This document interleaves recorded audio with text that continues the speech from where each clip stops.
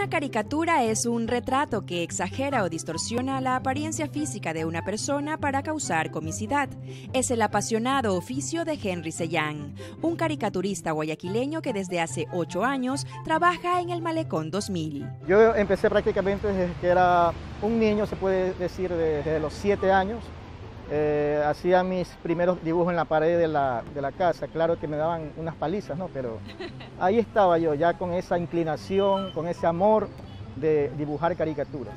Esta forma de humor gráfico le costó lágrimas en sus inicios, pues era vendedor ambulante y en uno de sus viajes fuera de la ciudad se quedó sin dinero para regresar a su hogar.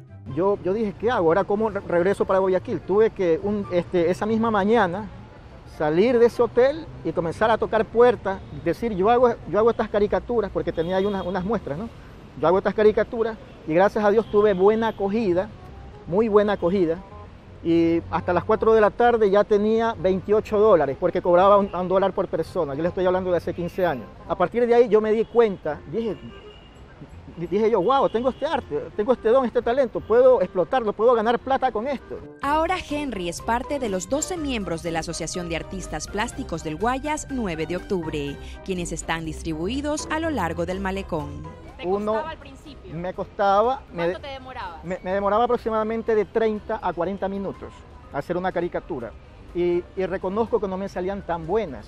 O sea, utilizaba otras técnicas que no tenía que utilizar como eran acuarelas, que no es ideal para una caricatura, sino, sino que ahora trabajo con algo más rápido que es el lápiz carbón. Entonces, bueno, a, medida que pasa el tiempo uno va este, puliéndose y día a día, año a año, uno creo, creo, en mi caso pasa eso, lo va haciendo mejor uno. Mientras utiliza su lápiz carboncillo sobre la cartulina, la barra de carbón, el borrador y el spray fijador, nos comenta que ha retratado a muchos artistas que en su mayoría de veces no los reconoce sino después de terminar la obra, así como también cuáles son los trabajos más difíciles. No, sin duda alguna que los, que los más difíciles son cuando, cuando son demasiados este, este pinteros, se puede decir, muy, muy guapos. Bueno, puede ser un hombre o una mujer, bueno. Entonces ya ahí prácticamente se hace un poco complicado porque no sabría cómo exagerar un rasgo que se puede decir que está casi perfecto. ¿no? En cambio ya por ejemplo de la gente de edad, ya estamos hablando de 40 años para arriba, son más fáciles porque lo, los rasgos son más definidos, son más arrugados, más viejos, se le caen más, este, más rápido los cachetes, la cara, todo. Henry trabaja de lunes a domingo de 12 de la mañana a 8 de la noche. Afirma que se puede vivir de la caricatura, sobre todo cuando a más de ser bueno en lo que haces, buscas la excelencia.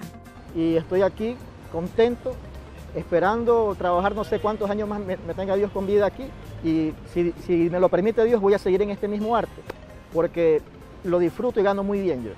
Sí y después de compartir con tan destacado artista, era necesario llevarnos un imborrable recuerdo.